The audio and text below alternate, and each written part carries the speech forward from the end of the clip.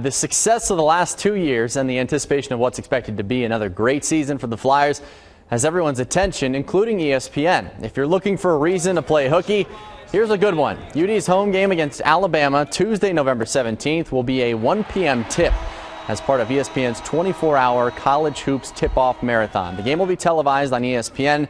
This is the eighth year of the marathon, which features 16 games beginning Monday the 16th and into Tuesday. This is a big deal for the Flyers. Archie Miller saying, quote, for us to be a part of one of the biggest, uh, the biggest one-day event in college basketball is huge.